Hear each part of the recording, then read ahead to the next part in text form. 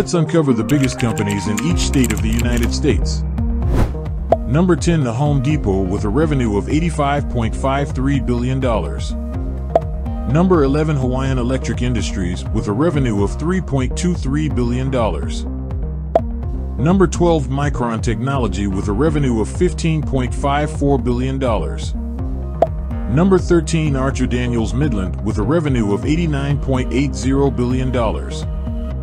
Number 14 WellPoint with a revenue of $71.02 billion. Number 15 Transamerica Corporation with a revenue of $19.64 billion. Number 16 Koch Industries with a revenue of $115 billion. Number 17 Humana with a revenue of $41.31 billion.